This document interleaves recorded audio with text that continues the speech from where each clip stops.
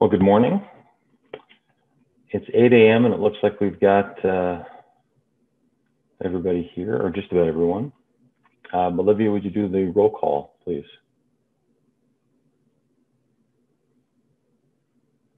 And you're on mute. We could hear you all those times you asked if we could hear you, except that last one. I got to get used to the headphones. Um, okay, we have Cameron Grant, Tom DeBee, Arlene Zortman, and Jean Christopher. We also have Polly Christensen, Kathy Fedler, Lisa Gallinar, Karen Roney, and Kendra Daniels. And I'm trying to log on. And Harold's trying to log on. and uh, Lauren Seeley is absent today, it looks like. Great, thank you.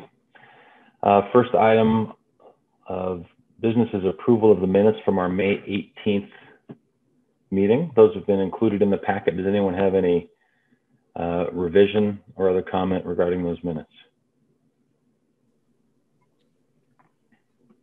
Arlene? Cameron, there was there was one area where there was a duplication of, of words, but I don't have that copy in front of me. Um, so I think we can just approve them. All right, anything else? All right, well then let, I'd entertain a motion to approve the minutes. I so move. I second. A motion by Jean, second by Arlene, all in favor, thumbs up. Approved unanimously. Uh, next item for business would be public invited to be heard. Olivia, do we have anyone from the public who has indicated a desire to talk today? No, we do not. Okay, well then we'll move on to new and old business. Item four, a discussion of retreat items regarding LHA. And as I recall, the uh, the council retreat is scheduled for the morning of July 9th, excuse me. and we have uh, quite a bit of information in the packet that I think helps get us up to speed. Um, but is there someone that would like to take the lead on uh, warming us up into this discussion? Sure, I can do that. So I thought I would go through just a little bit on the, the financial and other tools available, um, then the land, um, kind of how it's outlined in the packet, some of the, the data um, that we provided, and then start going through um, the goals um, discussion, if that makes sense to everybody. Mm-hmm. Um, so I wasn't sure how much you were able to re um, read and digest, but um, just these are probably just some of the financial and other tools that are available to the Housing Authority. Um, I'm sure there are other ones that I have have missed or forgotten about. Um, but they, you do have a number of things that the Housing Authority uh, does have available to us.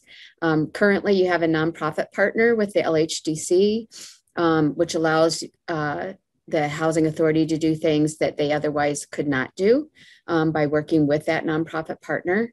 Um, nonprofits can often be more nimble um, than a HUD burdened, HUD reg burdened housing authority, um, and often can access um, funding that requires a nonprofit status versus a housing authority. The other thing I didn't put down that I realized this morning, they also can go outside of the city of Longmont boundaries. Um, the LHDC is covers the entire St. Vrain Valley School District.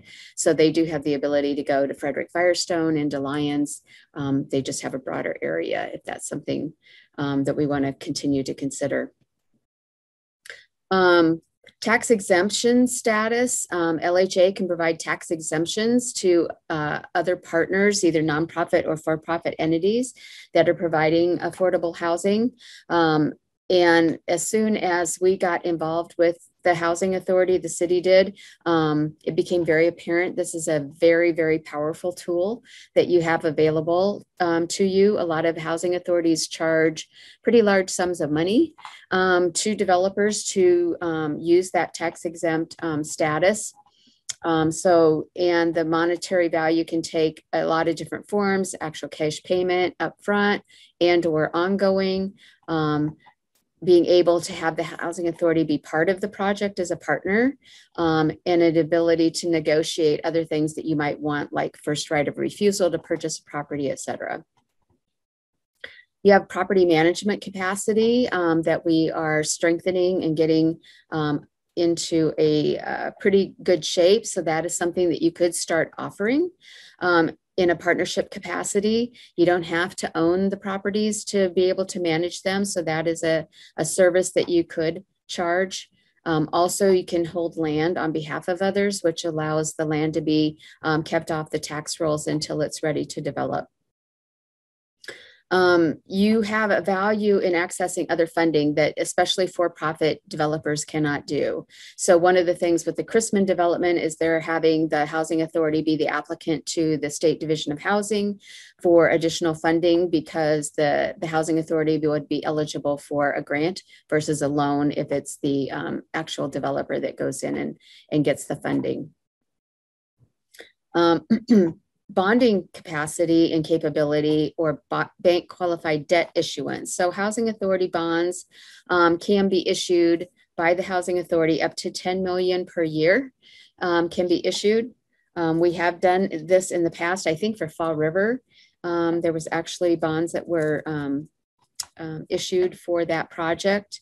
Uh, the interest um, that's earned by investors is exempt from federal taxes um, and may also be exempt from state and local income taxes. So this is a, um, a valuable tool. and I know there's a couple of different instances, like with the um, Longmont Christian Housing and Hover uh, Manor, where um, we did, uh, the LHA did on behalf of borrowing. So actually went to the bank and got favorable, more favorable rates than a regular nonprofit because it's triple tax exempt, I think is um, the wording. So they actually borrowed the money and then turned around and lent it to the other um, nonprofit. So there's a couple of different um, ways you can you can um, access funding to the benefit of others, which um, brings money into the, the housing authority because you can charge to issue the bonds you can charge for uh, an extra percentage of interest if it's a bank qualified et cetera um, property and land value that that you guys own you can at different points in time divest yourself of some of the property or land at market rate prices and reinvest in other affordable housing development depending on what's going on. So if you remember um, not too long ago the housing authority um, I think it was the housing authority that owned those, divested themselves of Terry Street apartments, um, which were, I think, 21 total units um, on the 600, 700 block of, no, 500 block of Terry Street um, and sold those at market rate um, prices and then turned around and reinvested those in Spring Creek and um, Fall River. So that is something that you could consider um, as some of the properties that you own come out of the tax credit if you wanted to do something like that instead of reinvesting just an option. And of course, the land that you own as well. Um, and then project basing vouchers is, is highly valuable. Um, dedicating vouchers to a project provides um, additional subsidy and um, frees up equity and um, borrowing capacity for a project, especially when you're covering 30% and 40% AMI units. So it actually offsets the subsidy needed to provide those units and therefore lowering um, the funding needed to borrow for those to cover those units. And that frees up money um, that they could be um, borrowed for other um, investments. And it's in the range of, I don't have my figures right in front of me, but in the range of like a hundred to $200,000 per voucher um, over the life of the project is what it, it brings in. Are there any questions on any of those tools or did anybody think of any others that I had forgotten about or that, you know, we've used in the past?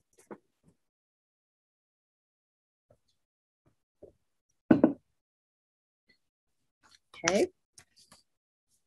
All right, then briefly going through the land that's available to the Longmont Housing Authority. Um, as you know, you own 3.8 acres um, jointly with the city at the Sunset Campus down by the suites.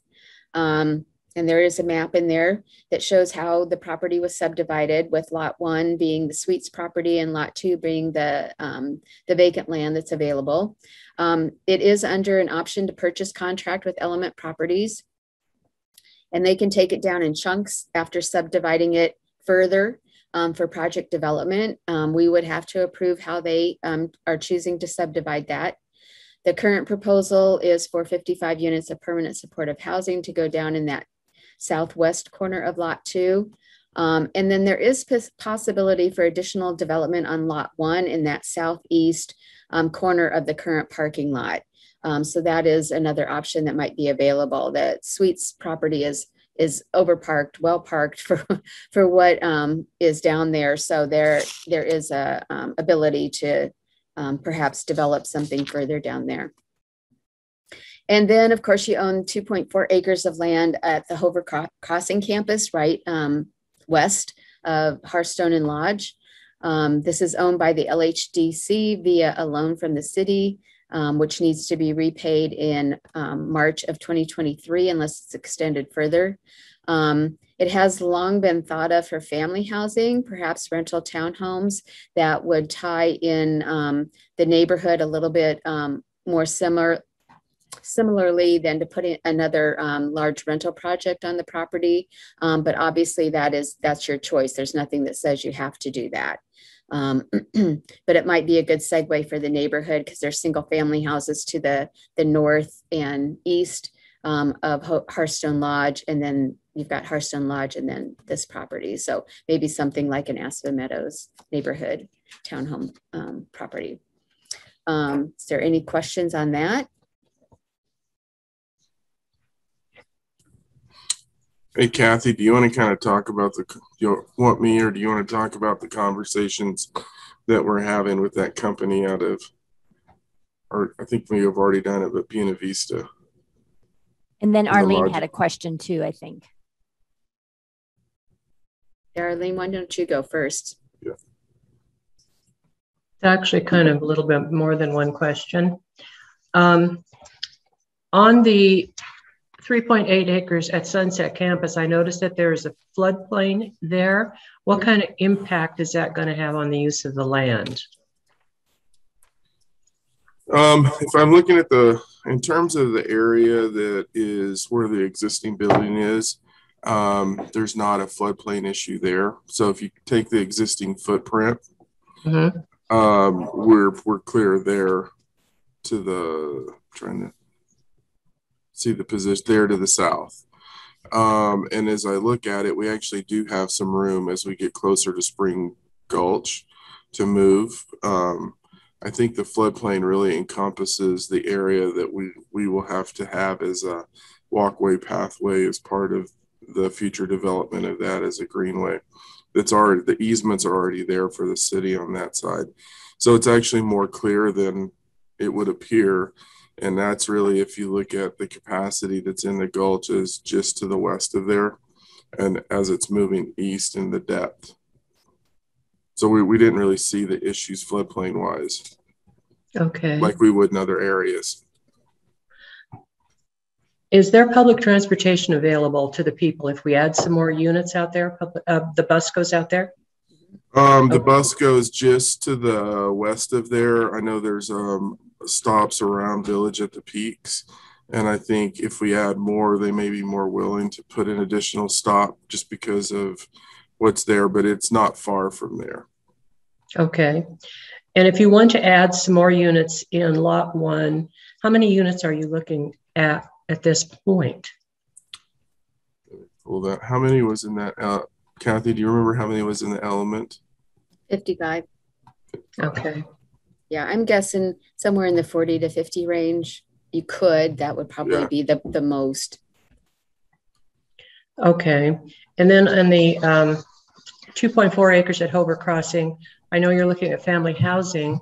Um, How many units and then how many bedrooms? And then is there a possibility, I know that you're thinking townhomes to kind of make it blend in with the area over there, and I don't have a problem with that.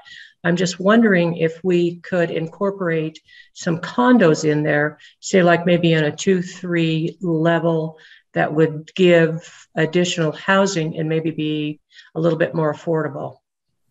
So that one's the one that I was talking about, um, talking to you all about. So there is a, a company that we were introduced, um, Mhm. and I forgot their name, but they're out of Buena Vista and they do um, manu and when I say the term manufactured housing, don't think of what you traditionally think manufactured housing looks like. Um, Pre- they, Prefab, right? yeah, it's more prefab, but they come in and they they build them in a plant, and then they come in and they stack them, and they do everything from uh, market rate to affordable. Although they're they're um, their models built on trying to provide affordable housing, so um, they work with a company out of Berkeley that really does this affordable development. And so what you'll have to do is really come in with um, a development partner and run through some iterations in terms of how much space you have, what it looks like, what can fit. Because what you're going to try to do is maximize your value on the Mhm. land um, and provide as many units as you can in a way that serves the individuals. Um, so we will be, as we look to that, we will be working with different groups um, and groups that really specialize in the affordable housing world and trying to achieve our goal. Um, so it's hard to say what it is right now, but we really want the experts to come in and know what we need to do and then really manage our parking requirements and all of those things to ensure we're maximizing the use of the land, but really providing high quality um, housing for families. Okay, So more to come on that, more to come on that when, once we start getting into design options. okay. Yeah, we'd want to Harold, do a was that, was that Fading West? Is that the company in Buena Vista? I think that's Those- it. They, they, they do some, it almost looks like a new urbanist community. Yeah, yeah. So it is that Fading West group. I think that's the name of them. And they're the ones that did the affordable housing there. And where it's really attractive to us as a community is um, we're also having conversations if there's an interest in building, excuse me, a manufacturing plant here on the front range. And so, and and I can tell you that I know that there's a market rate developer working to partner with them too. So if we can sort of all coalesce around the same time frame, then we get a different economy of scale and a different price point because of the transportation cost. But yeah, it's sort of a new urbanist design, dense, um, open green spaces in, um, really attractive. And you know, frankly, their price points go from I would say 250 upwards to 550. So that's why we say they get into the market rate too. Okay, thank you. Thank you. Okay. All right, so I, I won't go through the statistics um, of the housing choice voucher um, information that I provided unless anybody has any specific questions. I think suffice it to say that we are reaching very low income, um, very, very, the extremely low is the 30% and below primarily um, with those, um, with that program. Um, it's a good distribution between elderly, disabled, and households, families. Race, race, and ethnicity um, is is good and reflective of the community. Um, the size of household is skewed towards one and two people because of primarily because of the the high number of elderly um, that we do have in in properties. Um, and then what was a little bit surprising to me was the amount of time that folks have been on the program. Um, I thought this would be a little bit lower, but the majority have been on 10 to 20 years on the program. So, um, so that's a little interesting, I guess. Um, and we need And to, Kathy, the, all these statistics that you gave us, are these uh, the current LHA program? Correct, the current we do. LHA voucher and um, uh, tenant-based voucher and uh, project-based voucher information. It wa- well, actually, it was pulled in February, so it's not totally current, but it's this year current. Gotcha. Okay. Okay. Yeah. Which Kathy's a total of about how many households? Is it 400 and some? Yes, four, 402, Yeah, okay. 410, something like that. Okay, so what I did, um, based on the discussion that we had at the May meeting, um, I did pull in, um, the LHA mission, the five-year plan mission, if you remember the five-year admin plan, um, that we reviewed early in twenty twenty-one and that the, um, the housing board adopted. Um, and then the city and LHA merged vision. So those are at the top of the, the next page. Um, and then looking at the feedback that we got from May, just some of the comments that were made, um, and looking at the five-year plan goals, which are is that um, uh, document that we had to do for HUD. It seemed like the overall uh, uh, goals fit pretty well with where you were going and what kinds of things you were thinking of. Um, so what I thought was I what I did was I added in in red color um, some of the additional ideas that you you guys tossed out at the uh, May 18th meeting. Um, I had a, at least one item in blue that I remember that we have discussed in the past that I added in there. And then everything in black is what's currently in the five-year plan. Um, I know that's something that you wanted to review again. So it seemed like this might be a good time and it might be a good framework for pulling something together, some recommendations um, for the, the Board of Commissioners when they have their retreat um, on July 9th. Um, so if that makes sense, um, I can briefly go through the, the five goals um, and kind of what is on there. Um, or if you're ready to just jump in, that's fine too. If you had a chance to review it, I just wasn't sure how much time that you've had to, to give to this. Um, some of the later pages just show again what has been accomplished. Um, over the past several years um, under each of those goal categories um, and um, what you continue to uh, do and provide. So how would you like, you want me to go through the goals or do you want to just start discussion? Know, Kathy, can I, can I ask a question before we jump in? And this may be the result of me missing the meeting last month, but um, as it relates to our role as the advisory board, I'm, I'm trying to make sure I'm plugged into where we're supposed to be because it, has been so many years actually being the LHA that sometimes I have to remember to make that we're wearing different hats right now. Uh, but but am I right that our our role on this would be to kind of review this and comment and then make a, a recommendation to LHA that would say these are some goals that we would recommend that you consider. Here are our comments, and then and then then we step back and LHA adopts whatever they want to adopt. Hopefully, listening to some of our advice, right? I think that's what we're shooting for. Okay. Um, you so with that, I, I think it probably makes sense just to dive in. I don't know that we need a, a, a summary review, um, especially if these were discussed last month. Uh, but if anyone wants to wave their hands as we roll through it, I think we could slow down and uh, as much as needed.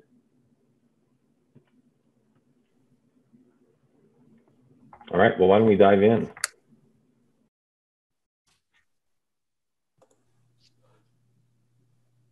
I get, I get share my thoughts first on where I see kind of our, our major goals. Um, I mean, one, one of the things that I want to um, see is just we just kind of have our development projects kind of in the hopper as as we're needing them. Um, try and develop, you know, three every three to five years, have something in the hopper so that we can have that that we're going to work with a developer to get additional affordable housing. Um, and then in terms of that, uh, if that isn't an option, then you know we work with possibly um, kind of the other goal of um, seeking out some of the affordable housing projects that might be going offline, or uh, seek out additional um, um projects that we could just take over and convert those over to affordable housing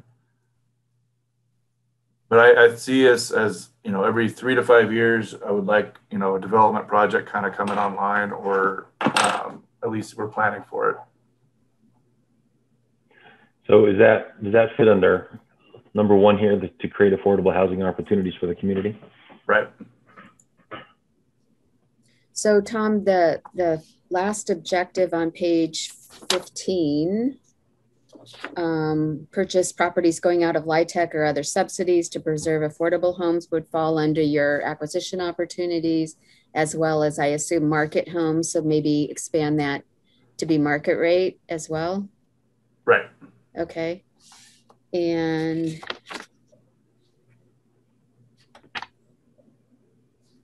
is the development projects lined up and ready to go? Is that covered under the first objective there, expanding rental housing opportunities for low income and vulnerable populations, or do you want it to be more specific around? Well, I think we can maybe uh, expand that a little bit more and just saying, you know, we're, we're looking for opportunities to yeah, expand the opportunities and uh, seek development. Um,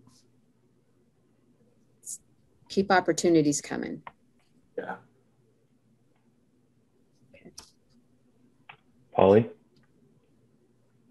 Uh, I really like all of the, uh, unsurprisingly, um, all of the um, blue things that have been added because I think we need to um, really be a little more aggressive about or broader in terms of how we're thinking of a housing authority. Um, I would also, I, I really like what Tom said, and I, um, I would also expand that because right now, I don't know if we have any money, anything that we are, well, doing Chrisman. Next time something comes up, if it's coming up soon, we, uh, because of the cost of, um, of materials right now, because of the disruption of uh, all the distribution and a, and a number of other things, um, I think we could expand some of these things to not just purchase market rate homes and um, purchase properties going out of uh, LIHTC, LIHTC um, but also purchase some things that are uh, motels and hotels and trailer parks. Because if we can't build anything right now, this would be a good time to be thinking about buying things that are already made or homes that are um, uh, that need a complete rehab that no one in their right mind wants to take on. Um, but uh, I do think this is a good time to think about if we cannot build something in a feasible way right now, then buy up some things that are, um, for various reasons, uh, coming up for sale. Trailer parks, as we all know, are the largest um, uh, non-subsidized provider of affordable housing in the country. And right now they're all being purchased by um, large corporations that turn them into kind of a nightmare, uh, an unaffordable nightmare. And if we can buy them and then have people buy them back from us or have them converted through ROC into a co-op, then we create something that's much more sustainable. We're doing good on the front end by helping people, and then we turn it over to them and create something sustainable. So that would be my preference too, is to add on to uh, the top of either the bottom of page 15 or the top of page 16 to include uh, hotels, motels, and trailer parks.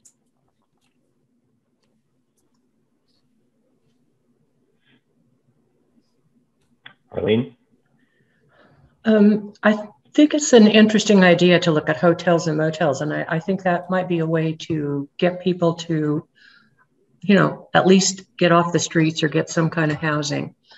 When I was looking at the charts, um, it was really obvious to me that when we we're looking at families versus seniors, that there's a significant difference there between you know what's needed and the fact that women single women make up a large majority of the families. And so i'd like to see what it is that can be done to help those single women with their families um, find some kind of housing.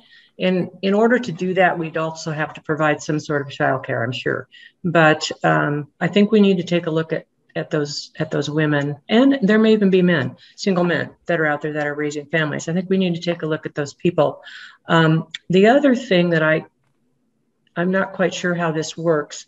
Um, i am wondering whether we should incorporate the different ages, the different generations into the facilities rather than separating seniors um, out from the families, uh, put them all into kind of the same areas, not particularly across parking lots like Aspen Meadows is, um, but into the same buildings because I think you get some sort of a really neat cultural diverse um, interaction there with seniors and disabled and veterans and families and they can all there's just a lot of history that can go on. There's just a lot of um, information that can be shared and i think that that's that's kind of a good way to rather than separate people out i'd like to see us bring more people together so Arlene, is the objective on page 15 focus on family slash mixed age rental housing? Does that capture that? Yes. Okay. And then the on the daycare, I did add objective mm-hmm. five based, based on, on, the conversation that there was last um, in at May. And one of the objectives on there is providing daycare on some of the properties and or future properties. Mm-hmm. And I think that's a good idea. And I think that if we're going to take a look at single mothers, I think we need to take a look at can we work with maybe um, front range community college in getting some education for those single parents. And if that's the case, then we may need to expand that childcare um, into the evenings or even say on a Saturday um, in order to help them move a little bit out of their um, their level where they're at and into a different situation, which is actually good for the kids to see and then is really good for the parent as well.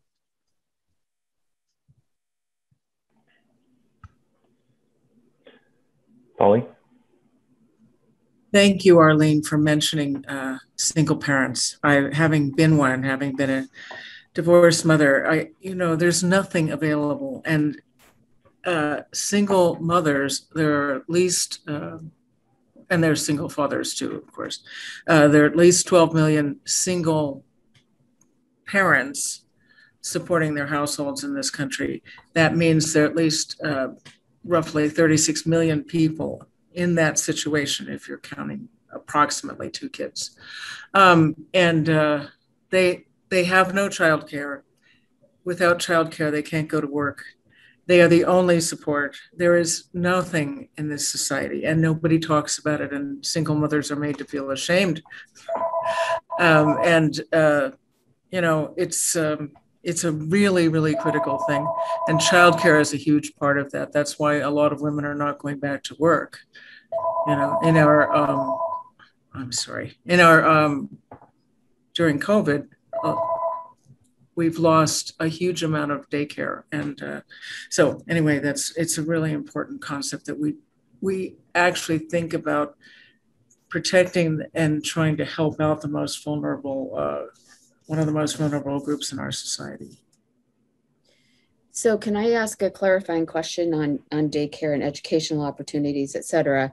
I am assuming it would be, we would want to do partnerships as opposed with existing resources or to partner with, I know Karen's group um, and the Human Service Agency um, funding process does a lot of work on funding affordable quality childcare um, and um, early education programs as well um, that we would want to more partner with existing things that are going on and or help expand in some way um, opportunities maybe by providing a building that somebody could come into when we're developing as opposed to the housing authority providing the services themselves Mm-hmm. I just want to be clear if that's the direction that we're wanting to go and and really focus more on on how can we support and um, partner with um, some of these services and programs as opposed to recreating or creating new ones. Well, I don't think we need to get into the daycare business, but there are plenty of, of, of organizations that do that and plenty of daycare things that do that that we could we could partner with, as you say. What they lack often is a building or uh, something, some way to partner with people to make things a little more um, economically feasible for them. So that would be ideal, I think. And I, as I do think, as Arlene said, there would be a lot of synergy if uh, with mixed groups, in fact, you might find that some of those groups would also be able to be employed at the daycare centers. So on site. So that would be terrific. Yeah, I and think I think, a, oh, go ahead, Arlene. Um, and I think if you, you partner with some of the learning places like Front Range Community College, whatever else there is, that gives people the opportunity to maybe possibly get some sort of a nursing degree or, or some sort of a business degree that moves them out of the you know working at mcdonald's not that there's anything wrong with that um, but moves them maybe into a more steady um, not quite all the time working saturdays sundays evenings um, and is provides makes it better for the for the children.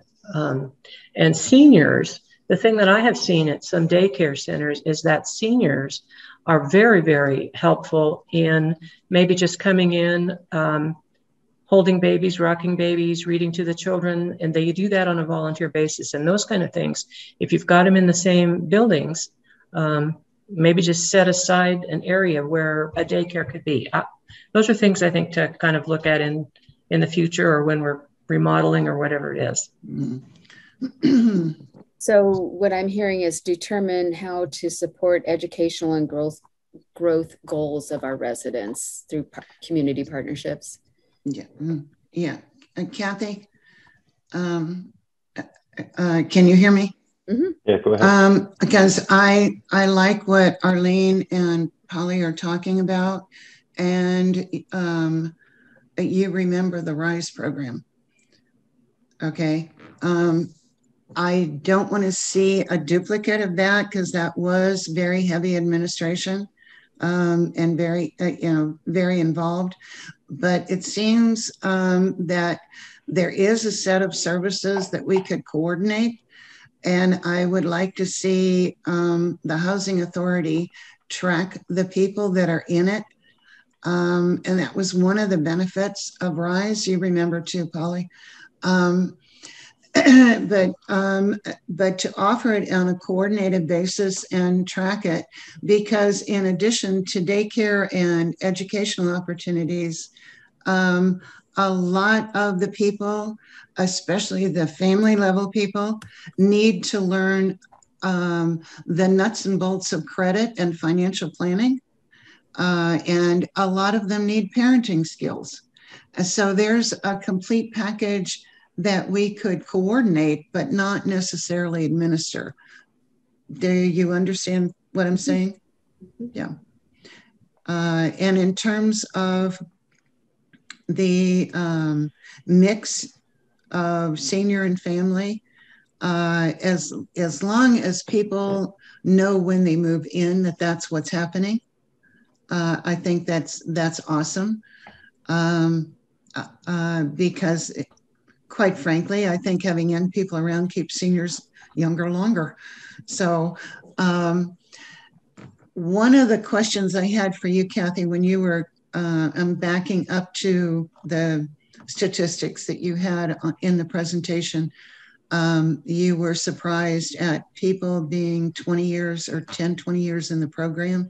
Were you specifically talking about Section 8? Yeah. Okay. All right. Okay, doke yeah, it wouldn't be as surprising in our properties to, to see that, especially the, the senior properties, you know, that folks are there for quite a, quite a long time. Yeah, well, uh, it, it, the senior hopefully, properties. Hopefully.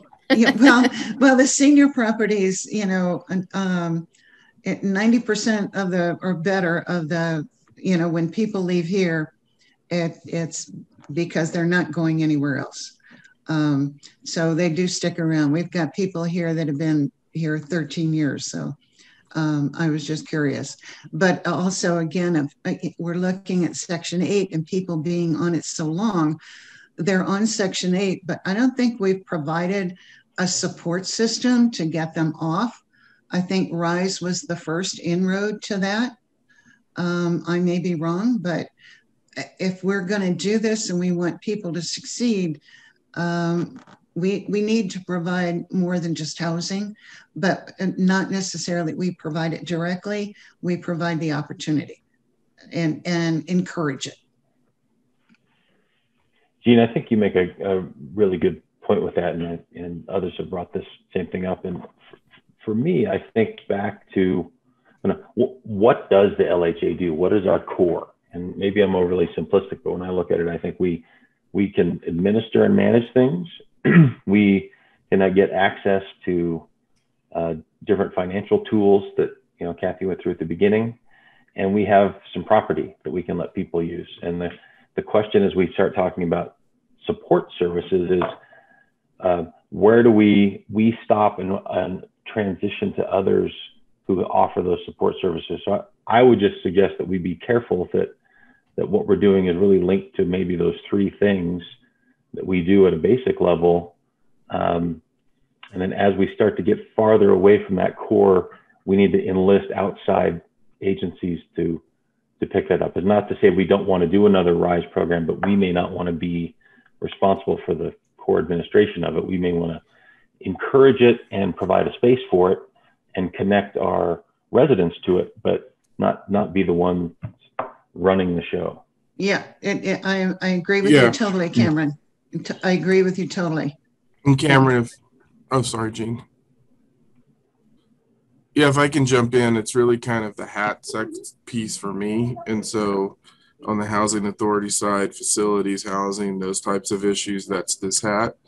Take this hat on, put the city man, put the city manager hat on, and it's leveraging the programs that we have in our uh, youth and family services where they do parenting classes and things like that, or leveraging the programs that we have via our economic developments and partnerships with Workforce Boulder County to then engage Workforce Boulder County with the same group that we're providing parenting classes to.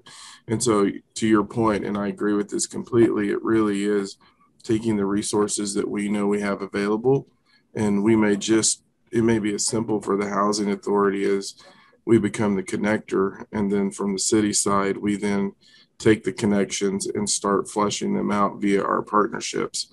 And and then they come in and provide the service. But at the end of the day it's a seamless sort of one-stop shop for the people who live in the housing authority properties where they have access to this. But neither the city nor the housing authority is doing it all. Yeah. it's sort of Harold, um, how- yeah, Harold, you just hit on why I really wanted LHA to go under the city. Because the city does have access, and if not the resource, you have the access.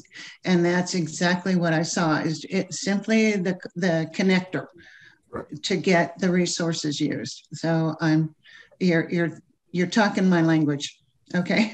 All right, great. And it ties into one of the council's goals too, where they wanted to get out with like, this is pre-COVID, revamping the mayor's book club and how different council members get into different locations. Seems simple, and it is, but impactful at the same time because we're not relying on private locations for space. We can do it in different ways now that we're together. So I think there's Mhm. a lot of opportunities. Karen? Oh, go ahead. Karen, I see your Yes.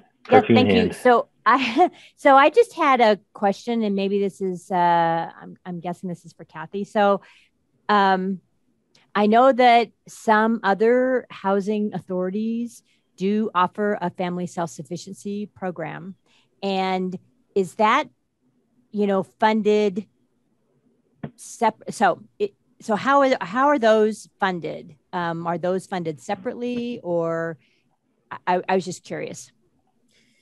Yeah, so I think, and, and Lisa might know more as well. Um, I, I think it might now be called moving to work. I can't remember if family self-sufficiency and is moving to work are the same is- or they've become That's correct. become one. Um, and it's a separate application, it's separate funding, it's separate rules and regs. Um, I know BHP, Boulder Housing Partners is a moving, they have moving to work vouchers um, and operate a program. I don't know if Boulder County Housing Authority does or not. Um, I don't know if you're allowed to have more than one in an area. Um, we just haven't been able to get into that yet, trying to sure what we have before we explore. No, yeah. no, but I, I but yeah, think that's an opportunity. that is an perhaps. opportunity. So I Mhm. just wanted to clarify that I was just interested because I know that it is offered and yeah, it is moving to work. Sorry. and uh, so it could be a combination, you know, like some of the uh, properties are permanent supportive housing. So support services are part of that. Um, and so what kind of combination of bringing entities in, um, what we might we be able to apply for and provide support. So uh, thanks for clarifying that. You know, as we work through these, I look at, I'm looking at these objectives, um, and with maybe one exception under this item one, I don't know how to know if we've gotten there. So, you know, five years from now, have we achieved this? And the only one that has, and maybe I'm trying to channel a little bit of Dr. Waters here with metrics, but um, there is the objective that talks about gaining 10 new private market property owners willing to participate in the HCV program. So we can measure that one. Uh, all, the others are all pretty nebulous, and I wonder if we want to, maybe not in this moment, but at some point, try to distill those down to some targets that we can pursue. Yeah, I would, I would suggest um, if we go through these and and determine what package um, per se we might want to provide to um, the LHA board um, for their consideration, see what they choose and come back with because they might have other ones that they want to add, or there might be some that they don't want to to include. And then, yeah, absolutely, we're going to have to drill down and and figure out how we're going to do it and how we're going to measure it. You are correct. Good. Yeah. So, oh, go ahead, Harold. And I guess that was kind of one of my questions because this is obviously what you all did pre us coming involved. But I think as we look at this, we mm-hmm. need to frame the new objectives into to how can you actually measure them and how can you determine success. And and so I think that's part of the conversation we want to have is with you all and the housing authority board is sort is take these and reformat them in a way that we can measure them and measure our progress on an annual basis to know are we are we doing what we said we were going to do and i've kind of I, i've even struggled with that so i mean Yeah. it's And, and And, I, I, uh, was, as I was reading through this, I was thinking about you know how we're we're linking them. I, I was looking up right above the five-year plan goals that it talks about the the city LHA merged vision. That's to build a continuum of housing opportunities, uh, and and also wondering if we're trying to um, collaborate to achieve some of the goals in Envision Longmont, or is there some other larger connection we're trying to make so that we're all pushing the same direction and we're we're not doing an LHA thing over here and the city's doing something different over here without that that connection.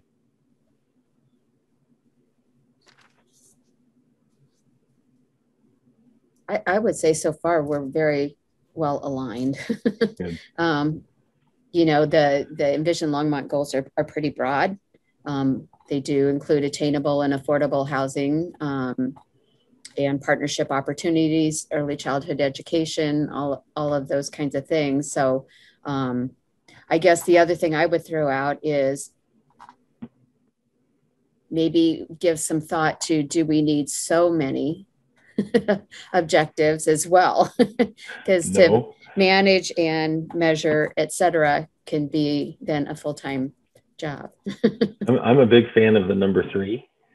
Um, that's that's the one when I ran out of energy for, for for more kids in my family, and so I've kind of used that as a guide. That once I get past three, I run out of steam. Um, if we could be a little more, especially since it's five years, that's not a long time. So we, we might want to pare this down over time. It, one other comment I want to throw in, and then we got to roll on to two, three, four, and five. Um, I wonder if in this objective number one, or maybe even uh, an overarching goal, that we um, we make some reference to the fact that we want to say create affordable housing opportunities uh, aligned with the goals of and using the resources of our partnership with the city, something like that. That that acknowledges that we're uh, we're in that umbrella now that we weren't when these were first put together. And I'm thinking of this in terms of, say, a year from now, when we have a, a concept come across the advisory board agenda, um, Element Properties comes in and they want to do X, Y, and Z on one of our, our projects. I'd like this five-year plan goal to be kind of our, the litmus test that we use. So we can hold up their proposal against what we say our goals are to see if it matches. Um, and so the more, more we can weave that into this, the more helpful it can be long-term. Yeah, Kathy, I think it's maybe getting with Joni. Um, so, because what I hear you, what I hear you saying in this is, you know, that aligns with uh, Envision Longmont um, in the city's comprehensive plan. So, as we're considering this, um, you know, sort of the things we talk about with developments, livable, walkable, um, uh, dense, urban communities. And so I think as we talk about that, maybe working with Joni to take those concepts and bring them into this so that, for example, when we look at a project, it's not the traditional suburban style apartment concept, but is really in alignment with the with our vision, which is that more urbanized sort of look where we're maximizing the land that we have. Is that what I hear you saying, Cameron? Yeah, yeah, exactly. Okay. Polly. Polly. Um, I would like us to remember, though, that the whole point of a housing authority is a national goal. It, it stems from uh, Depression era, but it actually is a national goal that has been around for hundreds of years to provide and it should be one of our national principles to, that everybody needs shelter, everybody needs a decent home. And we need to uh, keep that in mind that that is really our, uh, our only overall goal and objective and mission and whatever is that every human being in this country deserves to have decent housing. And that's a national goal. It really has nothing to do with the city, but how we actually act that out does ha- actually have to do with the city uh, and the Envision Longmont plan. But um, I, I would like us to not lose track of the fact that all housing authorities are a national program and are overseen by national and statewide um, boards and uh, authorities.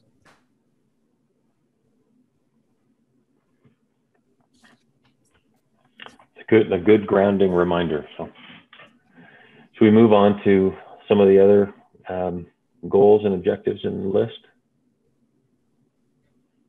How about number two, to protect and enhance the properties and programs the LHA operates? We comfortable with this as written?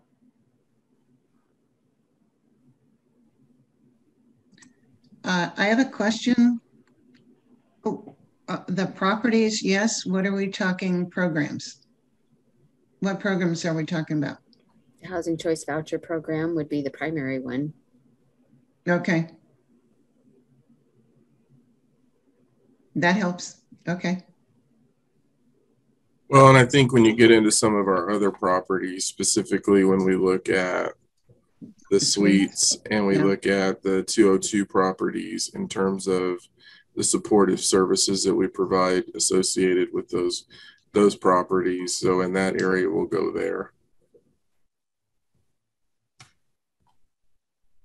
But predominantly HCV.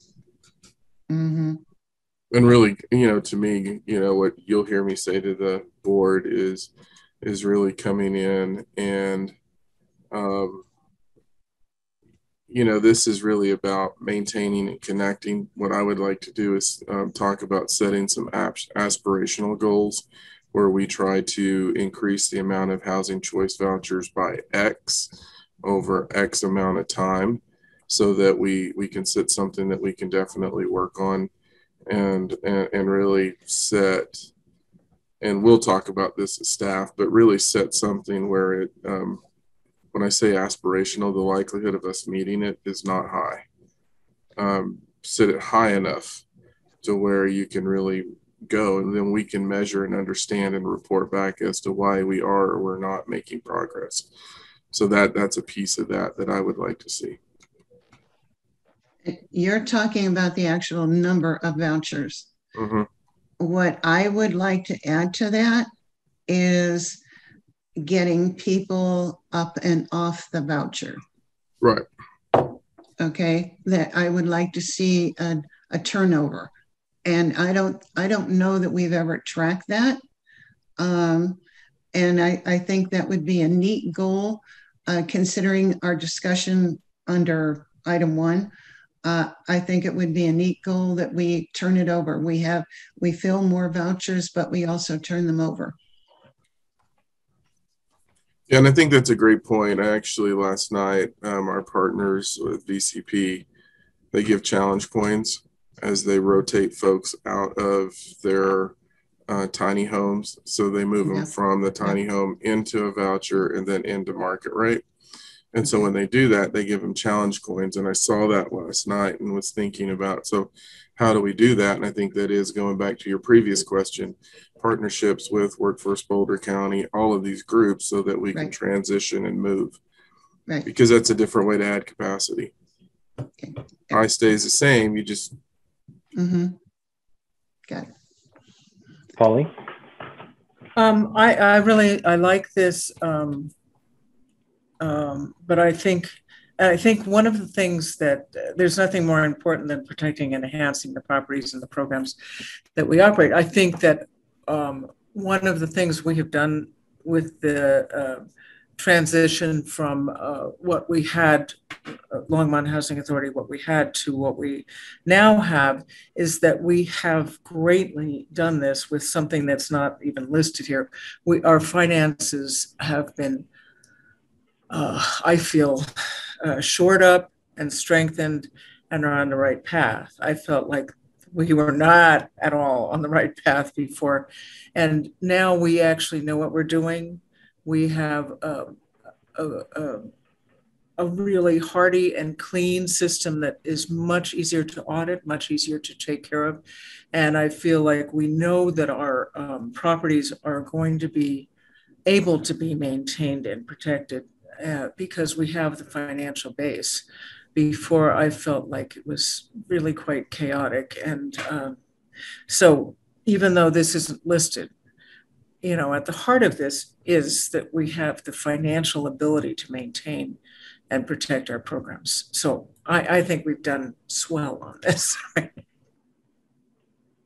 so, so I wonder if we want to want to actually address that because I think that's a key point. Um, under this number two. One would be um, ensuring that we have continued financial stability and the ability to carry out our mission.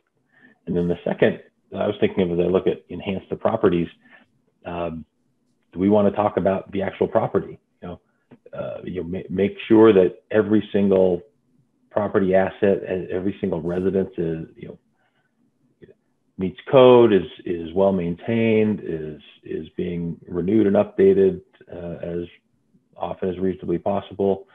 A lot of the kind of things that would have helped us avoid uh, HUD's partnership with us over the past several years, if you want to call it a partnership. Um, so I wonder if we want to put the physical infrastructure into this plan at all.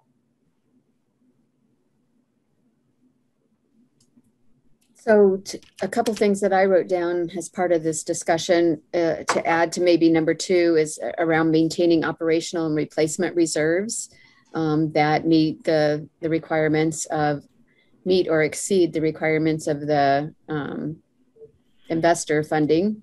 Um, we can add something around the code and HQS, decent, safe, and sanitary housing kind of thing. You know, Kathy, I think this may be the place I heard earlier as we talk about the resyndication process where we may get reinvest. rein, you know the reinvestment and resyndication in properties. And we set the goal i mean we set the the measurable target on this of and maybe this is what we need to do is look at it and go if we're going to do this and we're going to be aggressive in the reinvestment to cameron's to, well to everyone's point but what cameron just mentioned here's the schedule we want to hit. And we lay that schedule out so we hold ourselves accountable to the timing on this. And then if we can't do it we need to report back to the advisory board and the board and go well here was the schedule here what here's what happened. But i think set that plan in this where we can really target it and we can probably spend some time before the 9th on pulling that together. I think that's what I hear you all say. Yeah, that's, that's what I'm saying is if we have a, a, a specific plan and a target for regularly maintaining and upgrading our, our portfolio. And we are implementing new policies and procedures around that as well. So there, it was haphazard, I think, in the in the past to a certain extent. Um, but Lisa had and the maintenance team have instituted very specific um, policies and procedures around um, inspecting the properties and and maintaining them and mm-hmm. and working with the city to try and have um, standardized features within properties as well so that we aren't buying all kinds of different faucets for example but we have you know a faucet that is used that um, you know is easily accessible. We could even have a couple spares and and move forward that would save time and money. Well you know fun oh go ahead. Oh, are there any properties that need to be refurbished in the next five years that we know, just like Aspen Meadows? Um, and we could put them kind of on the goals of saying, hey, we will refurbish XYZ properties um, within the next five years. Yeah, we have Village Place, apartment, Aspen Meadows apartments, neighborhood, Aspen Meadows neighborhood. Yeah, Aspen Aspen Meadow neighborhood, Village Place, and then we probably hit Lodge Hearthstone. Lodge. Mm-hmm. Yeah, if they, especially if they come out of the 202 program, we're exploring that to try and take them out of the 202.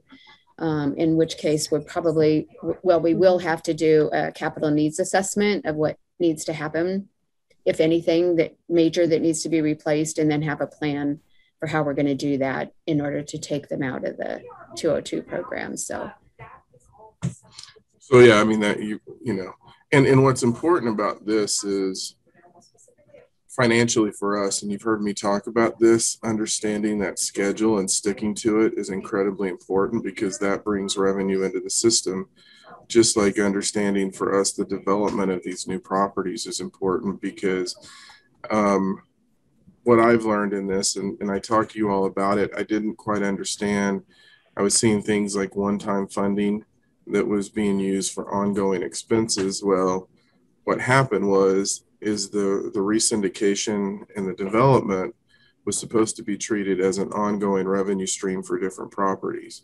Well, when when when that slowed down, that ultimately is what hit financially to everything else. And so that's why I really like the idea of planning this out because that ensures that that revenue stream is coming in continually. And when we know it's about to end, we need to start planning on what the next new development is so we can keep it. And then it, allows us to really plan for how we collectively start managing the budget from an operational basis to ensure that there may be a point in time where we can't do anything new or rehab for a few years.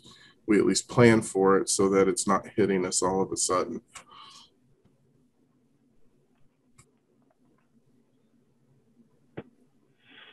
Anything else on number two? All right, let's roll to number three, to develop an organizational infrastructure so that LHA can efficiently manage its operations. Step one, ask city to take over operations. Check. Check. that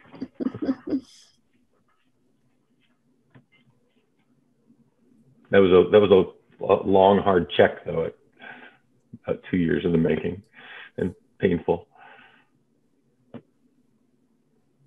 Yes. and gray hair inducing, I know. All right, so here we have one, two, three, four, five, six, seven objectives relating to our organizational infrastructure. Uh, Cameron, yes, I would just as soon toss out objective one I think it's too, you know, if we're going to have a goal of being high performing, just say that. Um, but then define high performing is going to get us into a lot of detail. So I just assume throw it out and let's just put in the objectives, what is high performing and, and make that instead of this fluffy phrase that's obje- objective one. So I the, nobody agrees with me. Mhm. Being a, a high performing agency, that is related to the, um, I think it's the SEMAP score, Yeah. um, which is under the Section 8 program. So it is very specific um, criteria about what you have to do and a whole point system to get high points, medium, low, underperforming, in Yeah, I- trouble. Yeah, I would rather have it stated that way, just how you described it, rather than to say high performing. It, it sounds like an ad slogan instead. Polly, go ahead. Yeah, I, I'm glad you explained that, Kathy. I agree with Jean because uh, it sort of seems like we're looking backwards and saying we have to, we're so ashamed.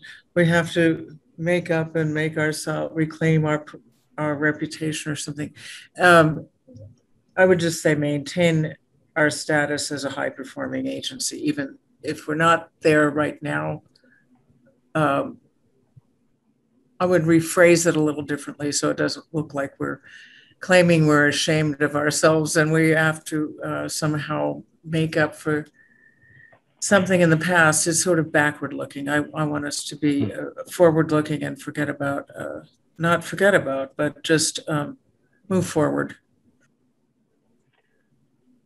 How about consistently achieve a designation as a housing? a Yes, that would be good. Something like that. Yes, that would be good. And then, and then Because then it, then it makes clear that it is a national um, standard that Yeah. we are, we are trying, we are going to uphold. Yeah, that's a good idea. Okay. You want to move on to the second one, Cameron? Please. Because I'm objecting to that one too. Because that's not an, that shouldn't be an objective. That should be a task that meets the objective of one. I see nods hitting. Okay. Agreed. Well, uh, honestly, if we want to get down to just like three goals, I would say let's axe this one entirely if we want to be tracking this. Because I think, you know, number one and two Yeah. are our priorities. And if we just want to get down to three different goals, I'd say let's not necessarily worry about this one. Yeah. This is what we want to do. And I think that's where we can come in and maybe set the operational goals for Yep. us to say what we want to do. And, and that becomes, I mean, to me, obviously we didn't want to skew the conversation today, but what I would say, these are really operational goals that Mhm. we need to do internally as administrators. And, and, you know, I would probably, and I see Karen jumping in, we want I, to I talk. think I think they're operational standards. Yeah. It is Yeah. the standards of excellence Yeah. that Yeah. we should be performing every day. And So so I'm not sure a it fits here. Given. Yeah. I'm not sure it fits. And then I think to the operational goals, we then go and we're more aggressive, kind of what Lisa's doing that says um, the standards we want to set is our vacancy rate will be this, um, our Mhm. turnover rate will be this, um, our time to flip will be this. And I think those are things we need to work on. And, and so I actually, I would agree with kind of what um, both Gene and Tom are saying, but Tom's point of, I don't know if it fits into this section. Yeah, I agree with, I agree with, with Tom that this is too operational.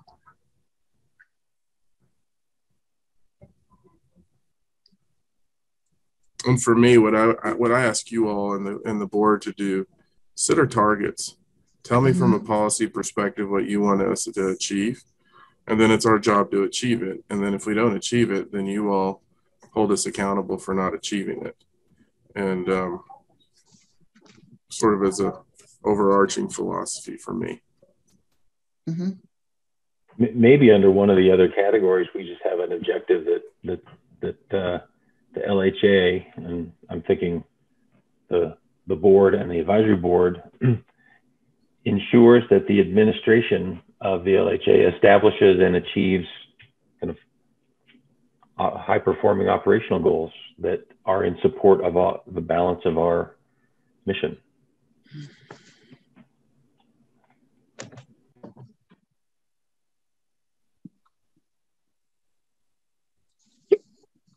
Did we have any objectives? Get into the, we get into the issue with measuring that though, Cameron. It's like we just yeah. we got kind of put together, how do we measure that?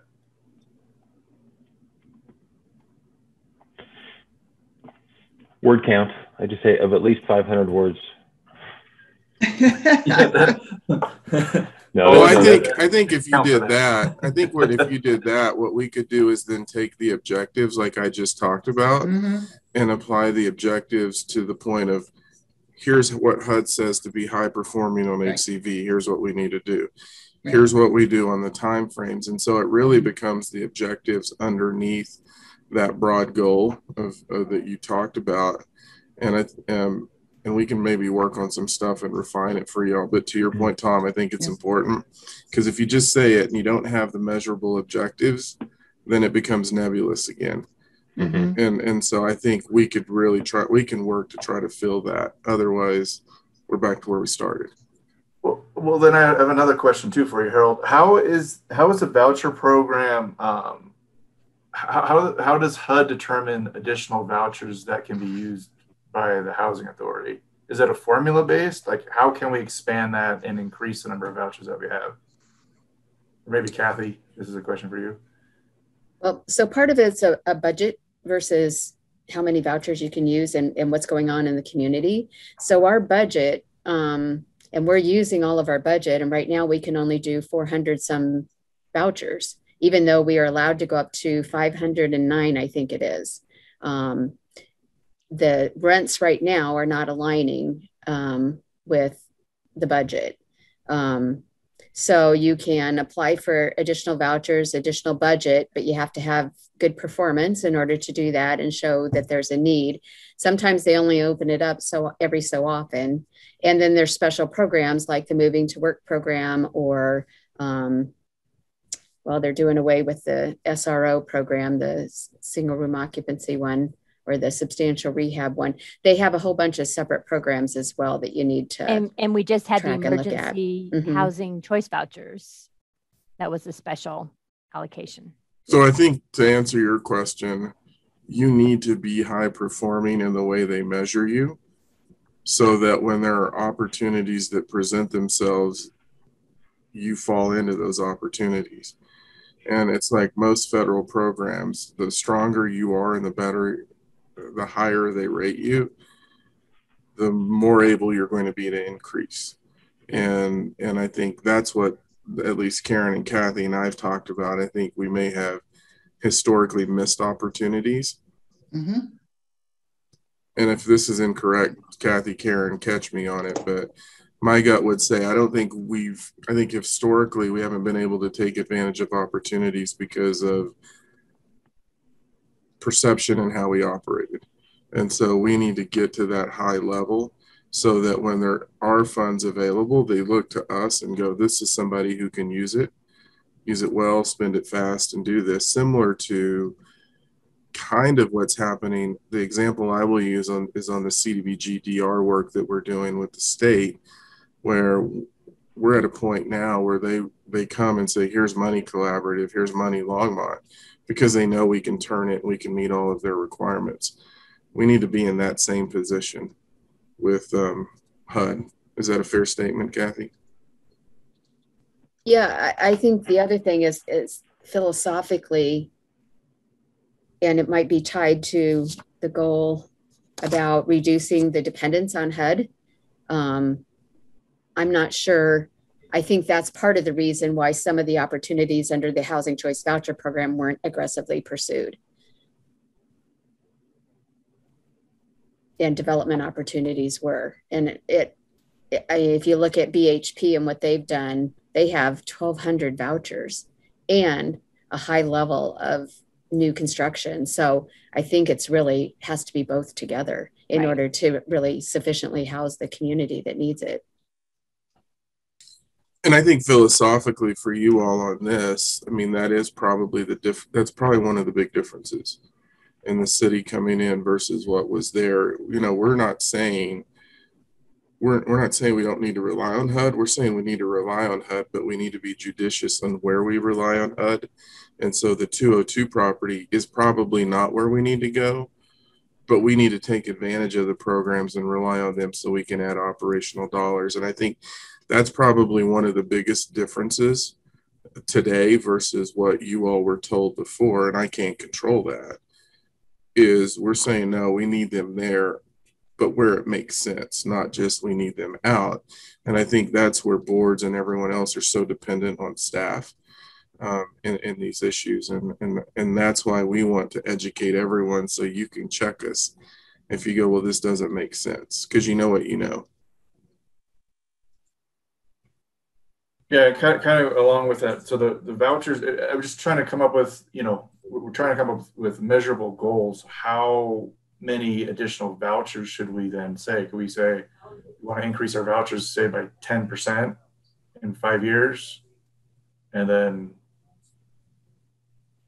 I would say 25 and then give us something to reach for. 25%?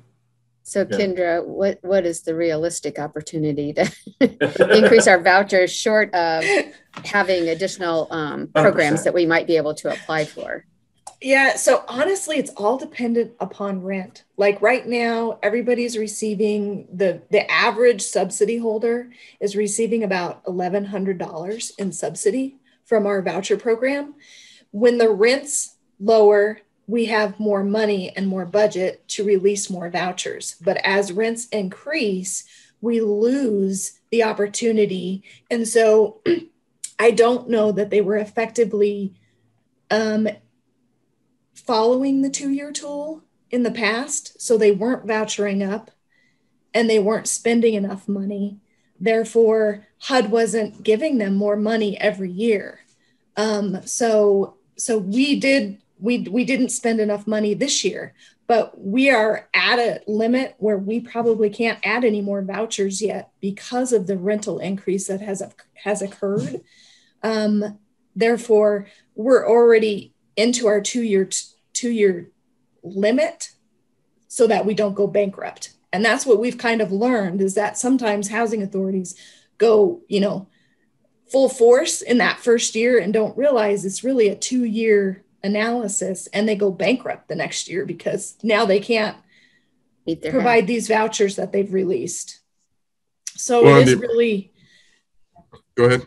Oh no, I, it's it's it's, it's a, a, monitoring. Monthly, yeah, it's a monthly analysis that we're doing now with this two-year tool of, and we did just release ten vouchers, um, and have leased those up or at nine, I think um, total. So so we're watching that and monitoring it, and the more we can we can push or talk to HUD about you know you know if we have X number of folks on our wait list and we can't serve them, is there any ability to get additional budget?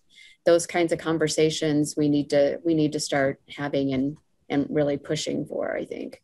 Well, and it's you know I'll use the what everybody refers to as a Haroldism. It is the spin cycle that we get into in that if you don't spend your money, they'll even consider taking your money away, right, Kendra? And so you have to spend your money in order to get money.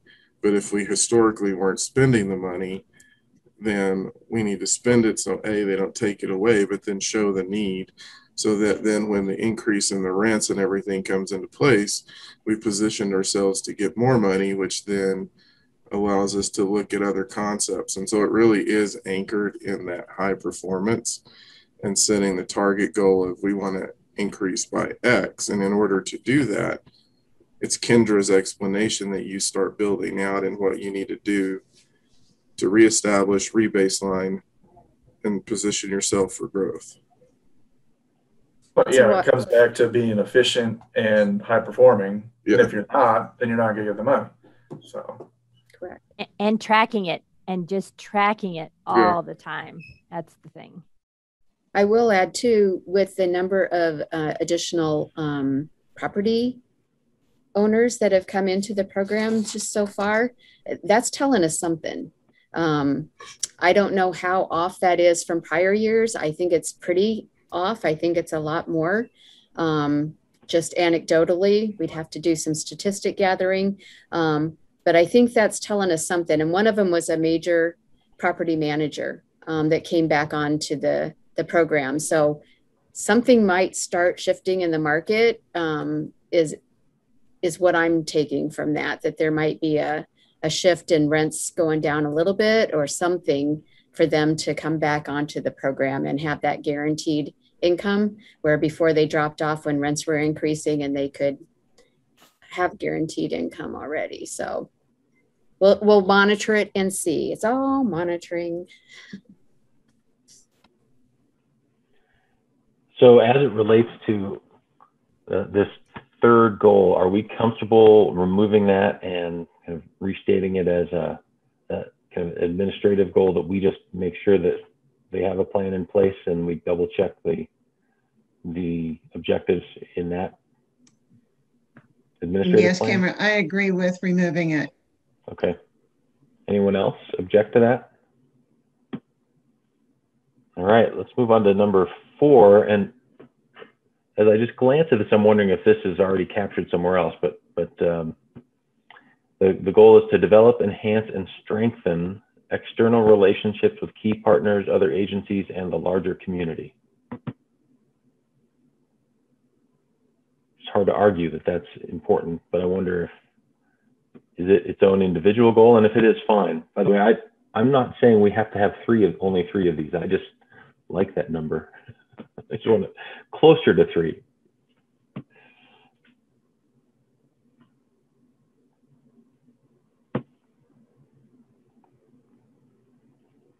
So this is something that you have done in the past. You've partnered with Habitat, you've partnered with Longmont Community Housing.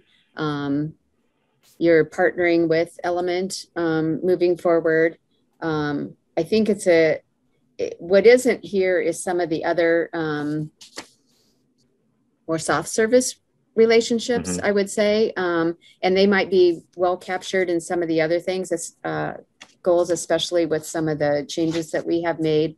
Um, but those around, um, uh, what's the dream, the dreamers? Um, I have a dream. I have a dream. um, and some of the the rice things, some of the other um, softer services that we talked about, um, serving on some of the different collaboratives and teams that the the is out in the community around homelessness, around um, well, primarily homelessness, but also some of the other affordable housing um, collaboratives that we have going. Um, in the past, there have been quite robust partnerships and then it kind of fell off. Um, but I think there's certain ones that um, really should be um, attended again by various um, housing authority staff so that they know what's going on in the community. They can react to things, they can have input, et cetera, about what they're um, we're experiencing. And then the whole development of housing. Um, yeah, some of this is is captured in probably number one, creating affordable housing opportunities. Um, but it felt important enough to call it out separately that really it is around partnership, additional partnership opportunities. Karen? So if a, a- suggestion, um, and again, we wouldn't necessarily do it on the fly here today, but but partnerships uh, can also be really seen as an approach. I think, as Kathy mentioned, that we have partnerships um, kind of interspersed into the different uh, goal areas and objectives. So if if if you wanted us to look at how to consider partnerships as an approach and making sure that we inclu- include a partnership approach into some of these other um, goals and outcomes, we could certainly approach it that way.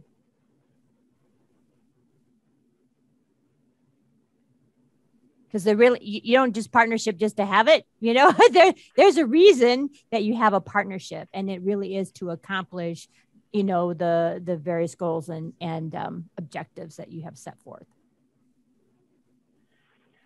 I kind of like that. I mean, as I was talking earlier about you know, the three basic things that I thought we do. Um, I mean, to me, we, we, we establish these goals, and if it's right within our wheelhouse, we do it. Uh, but the farther it gets from that core, the more we have to engage other partners in the process. Um, so I, I, my sense is that it's sort of woven through the other pieces. It's it's a tool that we use to achieve the goals, not necessarily goal in and of itself.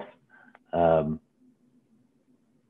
but I do think I do hear what Kathy's saying about it being important enough that we we might want to call it out in some fashion. So. Well, and it kind of goes along with that that spectrum that you guys gave us last meeting, where those are all the other, um, um, you know, either transitional housing or shelters that fit into the whole housing need, and we're just one one part of that as well.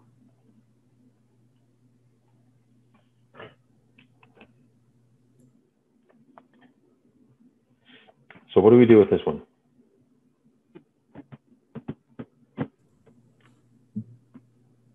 Well, I'll, I'll, go back to, I don't think we can measure it again.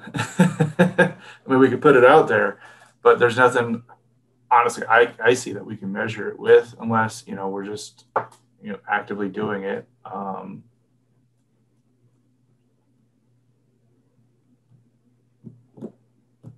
Can I give you all a suggestion based on what I've heard? Please. So what I would do is take this one and then take your other goals that you established.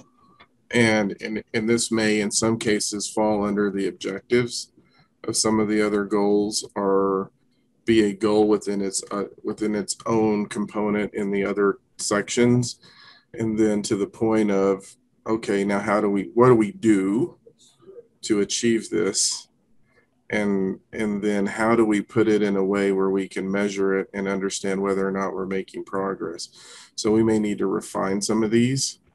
Um, and i don't have my usual three screens so i'm i'm back and forth so um, if you go to partner with local nonprofit agencies um, we can get specific and to say who do we want to partner with, how do we want to partner with them, and what do we want to create. Um, first right of refusal clauses that goes into our development work. Um, you know, how many land donations or on-site construction do we want to get on an annual basis? And in the land donation, I think for the housing authority is the most important piece so that they're at the forefront of the conversation with the developers who are building. So, you know, we want X number of acres a year via land donation to the housing authority um, through the inclusionary housing process. I think that's how we can get some of these and, and put it in other sections. Um, point five, um, or the objective is home ownership. I think that goes back to the previous conversations that we've had on the development side, and maybe we blend it in there. So we can work on that for you all, but I really see this as being components of the other goals and objectives. And these may be tasks that helps us achieve that. Kathy, Karen?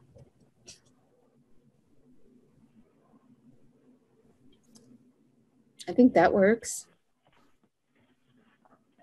So I, I like that suggestion. The one, the one piece when we just touch on number five uh, that, that I was going to suggest we try to weave in this somehow is is to have some goals and objectives that are are focused on our residents. There's a lot of focus on development and, and programs and buildings, but but but uh, I'd like to have something in here that talks about the people and what we're doing to make their lives better in the, you know, through these other things. And I think those other things are doing that, but I just would like to see it in the text here in some fashion. You, you know, I would agree. And I was going to suggest that to, to me, I think number five really is about the people. I mean, it could be. And so, mm-hmm. so I just think, um, so, so maybe we can look at how, how do we shore that one as about the people and then other things that we need to move elsewhere you know we can but yeah it, unless you if you don't want a people goal that's okay but it, that one is what that one seems to be about i, I want a people goal well it would be the third goal because you've knocked out three and four. We're weaving into the other one, so you only have two so far. And I think where I was going on the of peop- three. in the people goal, I think we were still talking about development and those things. And so when we want to look at it for people, it's um there's some operational components in terms Mhm. of how fast when we have problems, how fast do we respond to problems in units and, mm-hmm. and get them back. So that's more of an operational component to the people. Then we look at how do, you know, how do we create program partnerships to provide more services that we're not in order to support people or programs, you know, what kind of pro, how, you know, develop programs that we offer in each one of the residential units so that we, I don't know, Karen, this is Karen's world more than mine. Um, but the It's kind pro, of properties, programs, and people. yeah, and on the people, what do we give Yeah. our tenants? So it's not just a house, Right. but it's a community Okay. and it supports them in the community. And I, I think this and what Jean has been saying about the the move on, move on, Right. move up options or opportunities. I think that's Mhm. where this one could go. yeah, Mhm. Um, yeah. Uh, can I add, can I add to that? Yeah, go ahead. And then I think Polly Okay. had something. Um, well, I've got this mute sign up there and I don't understand that. Um, uh, in terms of the family properties, which I'm, I'm delighted to see us looking at doing more of, um, the, the uh, grow part is critical and what we talked about with daycare and other services that can be coordinated. Um, we also have, we still have all these senior properties. Um, and that's a different, it's a different animal. It, it, it's got to be handled differently. We, we won't have the same goals for seniors as we're going to have for the families. Seniors, we need to focus on keeping their life as comfortable and pleasant as they can for however long they're going to be here. Um, so the programs need to fit the property. Do you make sense? Okay. and and the one piece that we talked about that I didn't see it on this, um, but what I would say is that we need to think about too is as we think about programs and opportunities and partnerships, one of the things that I'm seeing that um, we're challenged with on a regular basis, and I'm trying to think if it's in there. I can't go back and forth, but what we know is that in terms of affordable housing for older adults, um, what we have is independent living. What we're seeing, though, is that there are folks that probably shouldn't be in independent living um, because of everything from where they are with their uh, physical abilities to mental abilities, dementia coming into play, all of those things. And so I think, I don't know if it's in the development, the partnership world, or what it is, but it really is how do we look at opportunities to partner with folks to have other opportunities for those that may need more uh, robust services than independent living. Um, because what it does is it also pressures us operationally in different ways. Mhm. And and so I don't know if it's a development goal, if it's a program goal, but it, it fits into this mix of how do you have affordable opportunities for assisted living or even um, some of our memory care components that are coming into play. And again, that may just be a facilitator, Yes. but it's in the mix. And, exactly. We might just be the facilitator for that because uh, we run into two problems. One is um, people uh, are, are in independent living and they can do some of the independent living stuff, but they still aren't disabled enough to move into to be accepted into assisted living. Right. So we've got this gap that we're inadvertently filling that doesn't exist in the private sector.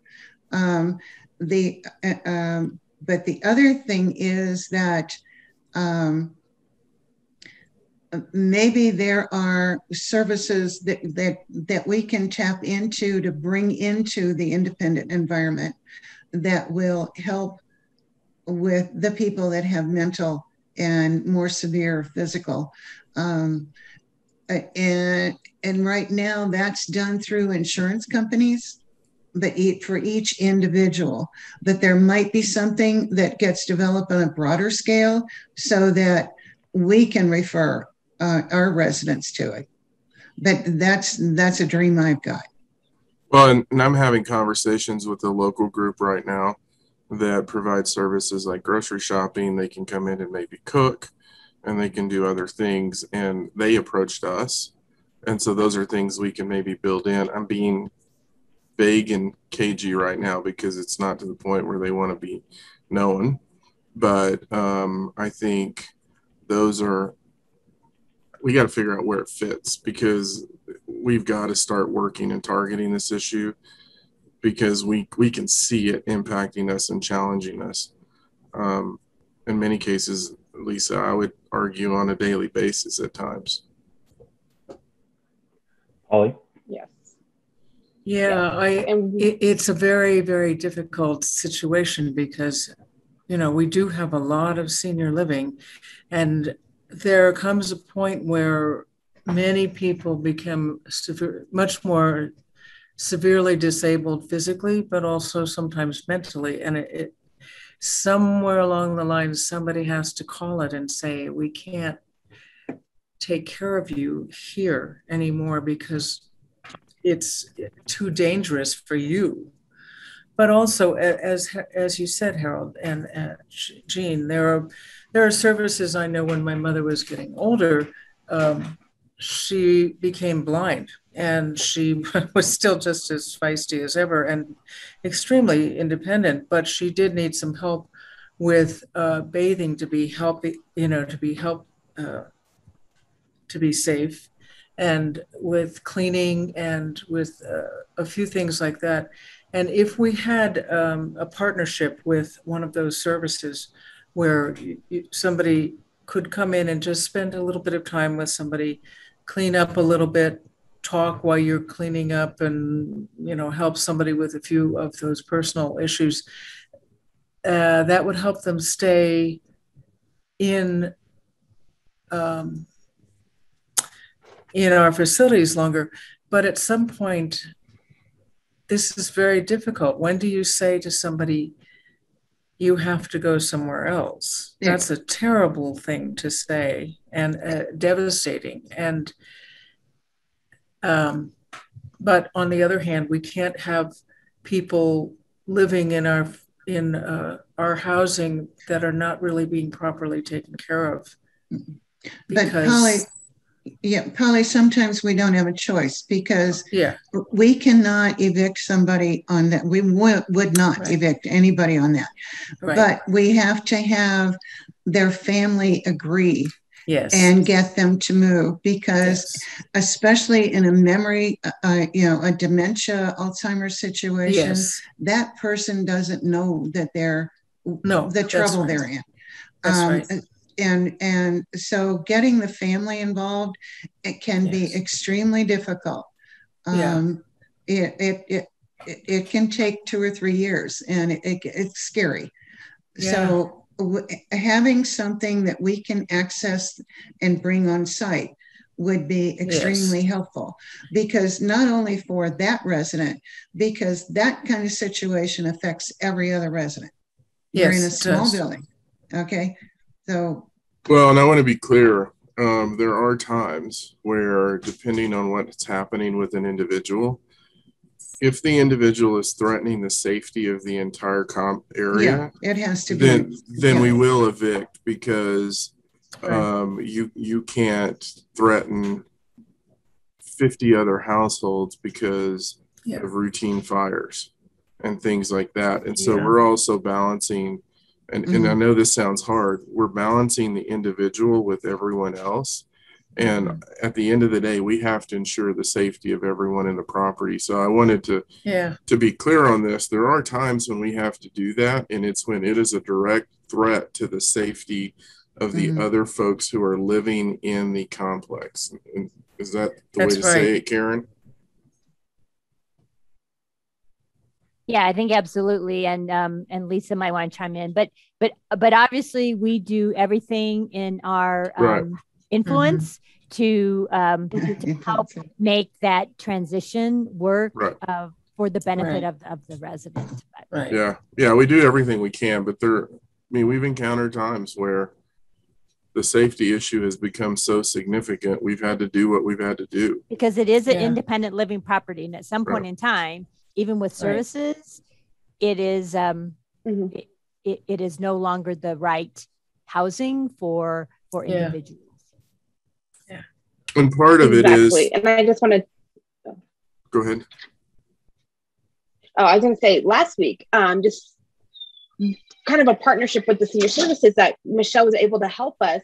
We did get a resident into a care facility up in Berthoud um, that takes Medicare, get him out of the situation he was in at the lot, sorry, at the Hearthstone, that was making it unpleasant for other residents, the fire department. It was a great collaboration. The fire department making reports, us making reports, senior services making reports, all of our agencies working together to better the life of one resident. Yeah, Yeah. Yeah. I just had to jump in because I didn't want folks to think that, because I mean, and you'll probably get complaints and we have to deal with it. And, and I wanted to be very clear where we are. Right. Yeah.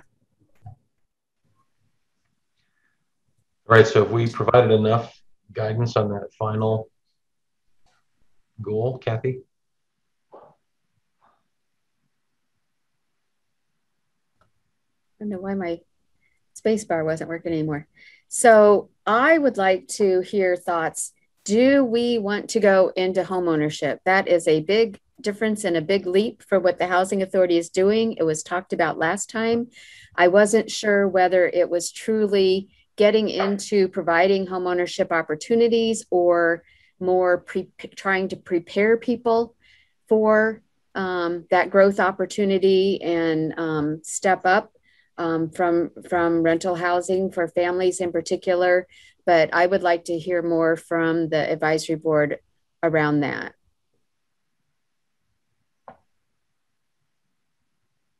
Polly?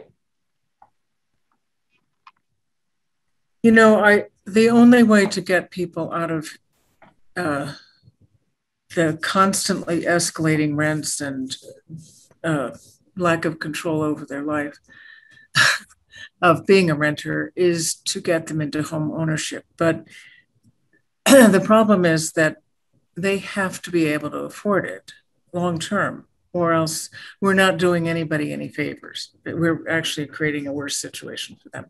We already do have uh, some kind of assistance, and we also have lots of counseling on on financial uh, and credit issues and how to help people get into those.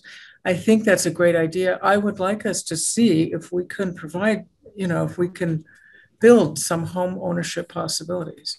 So far, we've kind of turned that over to Habitat, which does an excellent job because they do sweat equity and they do extensive counseling. But um, I would like to see us do more to help provide home ownership opportunities because that is ultimately the best way for our society to, for, to pass on intergenerational wealth and to create a better situation for most people in our society. Tom? I mean, I, I say we partnership with Habitat for Humanity, but I think we have such a need right now for low income rentals that that's that's where we fit in, and that's kind of what our goal is. Um, the, the other thing I forgot to mention too is maybe we focus also on like the 50% AMI properties as well, because we seem to be saturated in 30% AMI, but I see us as providing affordable rentals. And if there is some housing, um, we, we could see if it's a possibility, if it would fit, like, especially if we get a land donation, that it would work better as a housing uh, for, lo- you know, um, actually houses that people can purchase. But you know, I think we just stick to our niche and our our swim lane and just be uh, affordable rentals.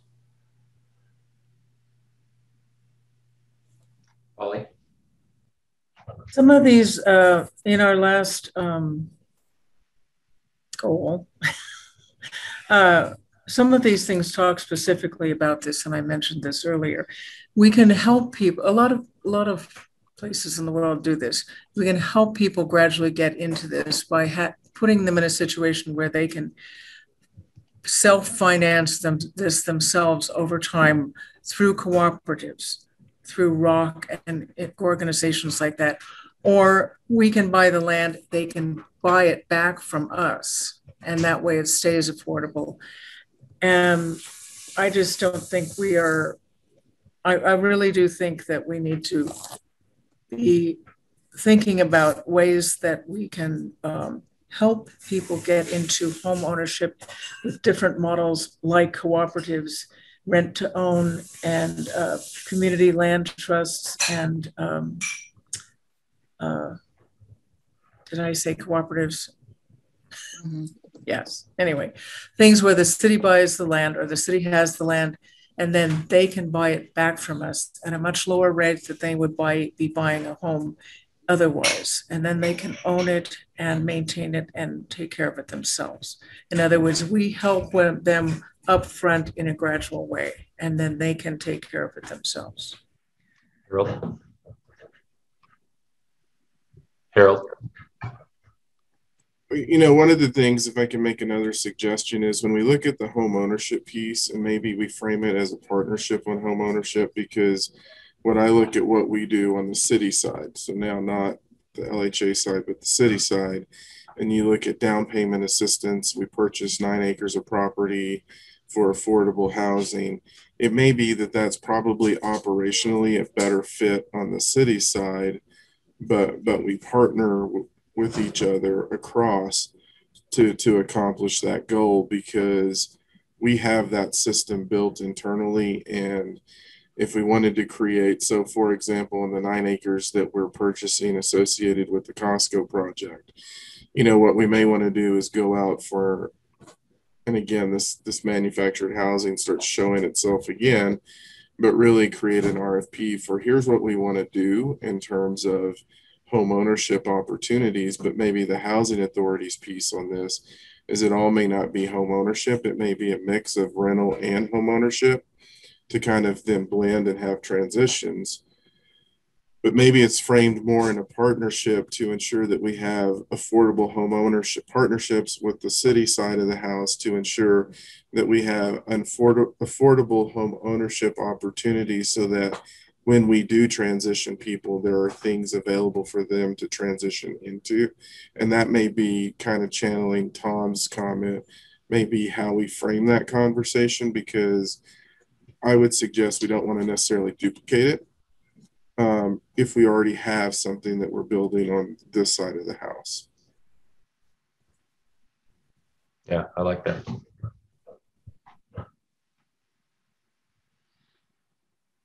Kathy, is that clear enough to work into uh, something for discussion next month?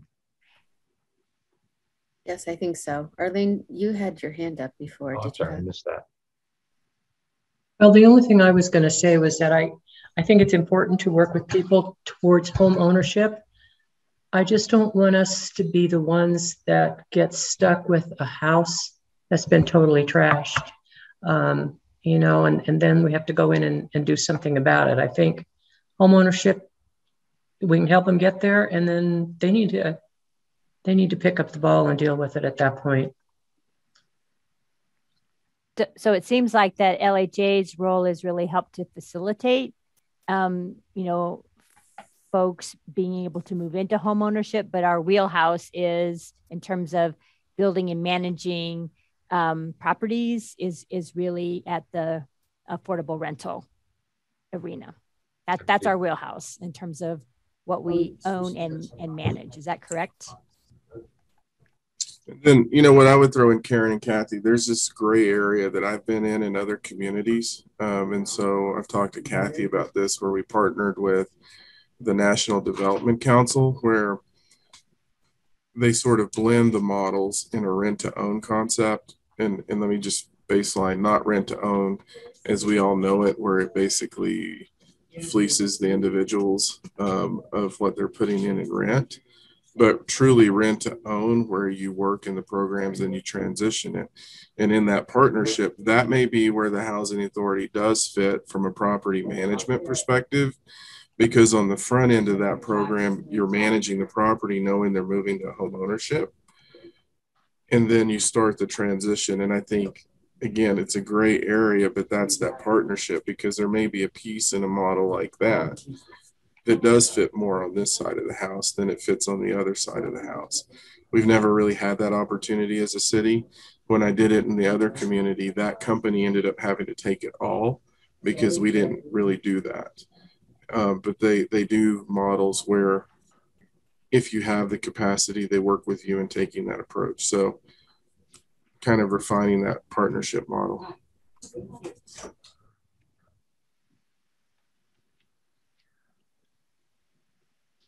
So are we ready to uh, move on from this or we want to discuss this a little bit more? I, I suggest that we move on. Um, looking at our schedule, I don't know who's running this meeting, but we're way over time. Uh, I'd, I'd like to move to to 4B options for in-person meetings. Uh, pers- I'll just share my personal thought. I'm ready for in-person meetings. Um, so if there is an opportunity for that, a good location for that, I'm all ears. Arlene? And, and I'm open to in-person meetings too. I would just like to know from Harold, can you just give us, you know, a real short version of what exactly the restrictions are? Pretty much there's pretty much not unless you go over what's the number now, Karen? I think they've removed all restrictions as of the other day. Even remove the numbers. Yeah, they removed the numbers, so we're we're good to go. Okay. Unless again, it's in specific, you know, unless you're in congregate settings or childcare or you know things like that. But for our purposes, than, we're good. We're free. We're we're we have freedom. okay. Other than if you're not vaccinated, they still, you know, encourage you to wear a mask if you're unvaccinated, but we're good. So I would suggest that when the next meeting comes out, you all just tell us where we're supposed to go and we just go there. As councils, do you want it in a formal setting or a less formal setting? For the advisory board. Mm-hmm. I, I kind of like the less formal setting. Um, just makes the kind of things we discussed. Less formal. Let's just do it in the council study session room, and I'll make we'll make sure it's available, Karen.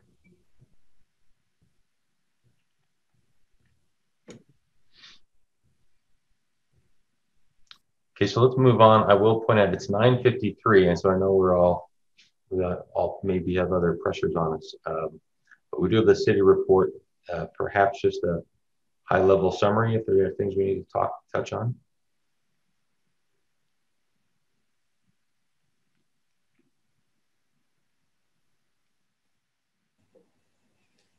So it looks uh, like your report is first, Lisa, if you want to, your vacancy report. All right. I guess maybe it's a question of, um, given that we just have about five minutes, is there anything that you have questions about that were in the packet or Lisa, Harold, Kendra?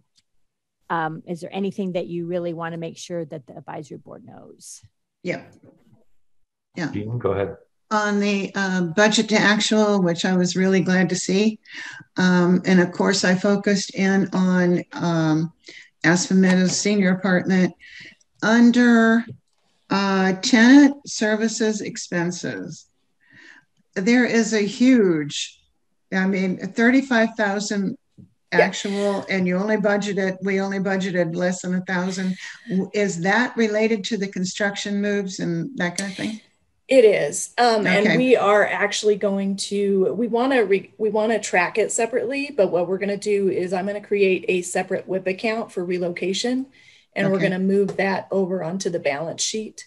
Um, until until it's closed. But yeah, um, it was being tracked as a soft cost, so it should have been expensed. But um, they believe some of that can be uh, yeah. expense to the to the whole um, re- the whole renovation. Yeah. yeah correct. Okay. That um, I, I had another question that's come up several times in the last couple of weeks on um, utilities. The second floor of Aspen Meadows, uh, the lights go the lights go dim in the hallways at night unless somebody comes out into the hallway. But that does not happen on first and third floors.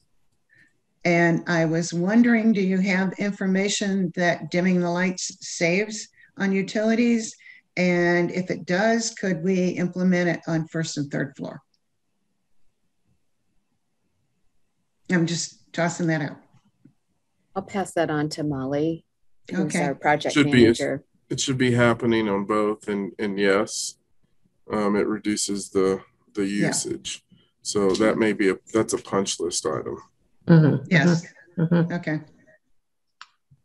Arlene? Is that is that same process in effect for um, Silver Silver Creek and uh, Fall River? Because at night, I do know it, it is at like Silver this, Creek.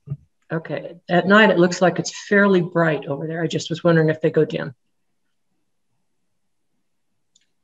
I, I don't know. I mean, that was the way it was built, so we'll have to look into it. Um, but that's the change in how we remodel and things that we're looking at. Mm-hmm. So I'm not sure, Lisa. I do know um, Spring Creek does have that same feature in their hallways. I am not sure about Fall River.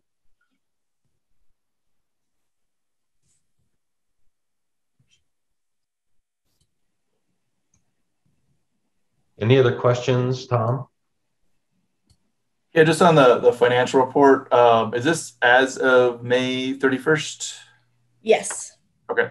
And then the other question I had though is just comparing the budget to actual. It seems the actuals are quite a bit higher than what we had budgeted for. You know, for instance, like Aspen Meadows, like the I'm just looking at net uh, tenant income is are 27. Income? Yeah. Yeah. So we are we we are finding a few anomalies that are happening there. Um, partly because in the past, for the project based vouchers and the tenant based vouchers, the housing authority wasn't going up to the fair market rent. Um, and so they're doing that as these vouchers are being recertified so that these subsidy agencies.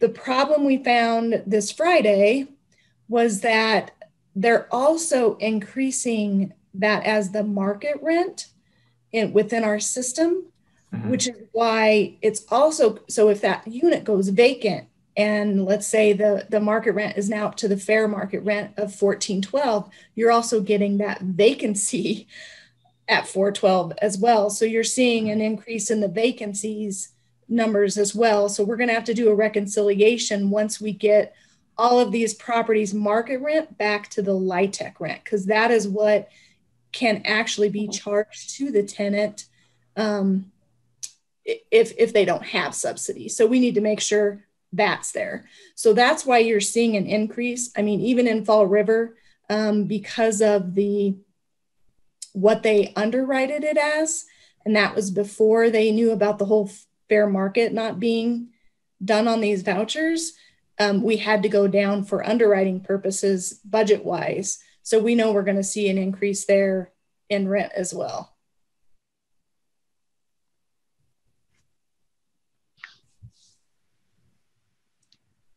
Any other questions on the city reports? The only thing I will add, unless it's changed, Cameron, just so you know, um, the calls for service based on the changes we made at Lodge and Hearthstone with the devices, calls for service for police and fire at the suites, those have dramatically decreased um, over the last few months. Um, to the last report, knock on wood, um, that I had from police, we had in a week we had no calls for service at the suites, um, and I think we tend to average what at least a one or two. So in terms of where we were on on a lot of these properties to where we are today, there's a significant change that's occurred, and that's really the partnership with um, across all properties of the part of the property managers in conjunction with Michelle and senior services and our support services and the in interactions we've had. Is that still correct? I wasn't there Friday on the last update, but is that still correct, Lisa? We've had a few calls this week, but it's from things sending outside of the property that um, police are following up, doing welfare checks, and just doing due diligence on. Yeah. But no big issues anymore.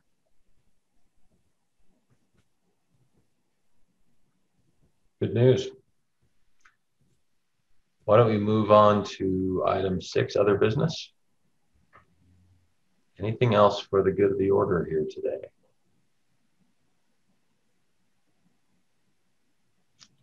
All right. Oh, Karen, oh, So- us. So just, so I'm sorry. This is just, um, just to to, to uh, clarify, the council retreat is is actually a six hour window. We will we will send out an agenda to all of um, all of the board members um, in terms of when the, I mean, the LHA discussion is a good portion of that retreat. So um, so we will get that. Um, that revised agenda out to you as soon as possible. And we are going to hold the retreat at the Hearthstone Community Room. So, yay, someone you're familiar with, but uh, but that's where we're going to be holding it. That's it. So we'll wait to hear from you on that. And then I'm, I'm assuming that that- that's on the 9th. Then we'll have a, a follow-up meeting where we can debrief on July 20th. All right, if there's no further business, I will declare this meeting adjourned. Thanks for a long morning. We'll talk to you soon.